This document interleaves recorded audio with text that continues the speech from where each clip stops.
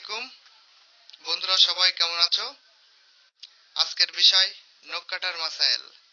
অর্থাৎ ইসলামী শরিয়া অনুযায়ী কীভাবে নখ কাটতে হয়, তার বিস্তারিত বর্ণনা আপনাদের উদ্দেশ্যে বলছি।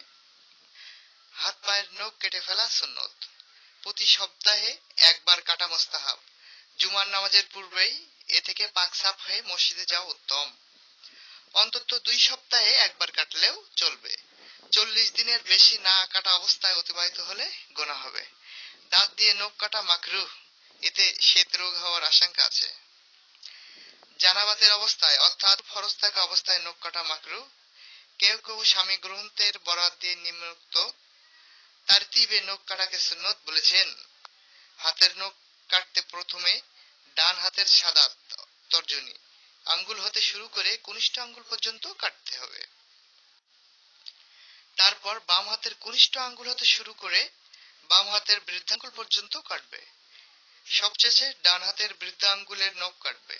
আর পায়ের নখ কাটতে প্রথমে ডান পায়ের কনিষ্ঠ আঙ্গুল থেকে শুরু করে বৃদ্ধাঙ্গুল পর্যন্ত, তারপর বাম পায়ের বৃদ্ধাঙ্গুল থেকে শুরু করে কনিষ্ঠ আঙ্গুল পর্যন্ত শেষ করবে।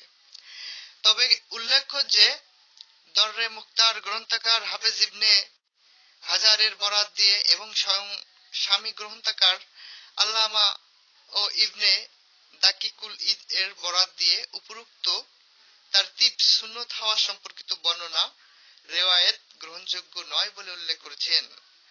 অতএব যে কোনো ভাবে সম্ভব কেটে নিবে।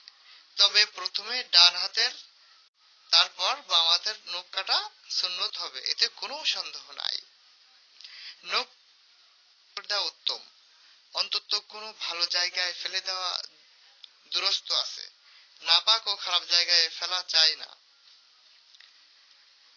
নখে মেহেদি লাগানো সম্পর্কে জানার জন্য পরবর্তীতে আমাদের পরবর্তী ভিডিও দেখার অনুরোধ রইল। অবশ্যই আমাদের চ্যানেলটি সাবস্ক্রাইব করুন।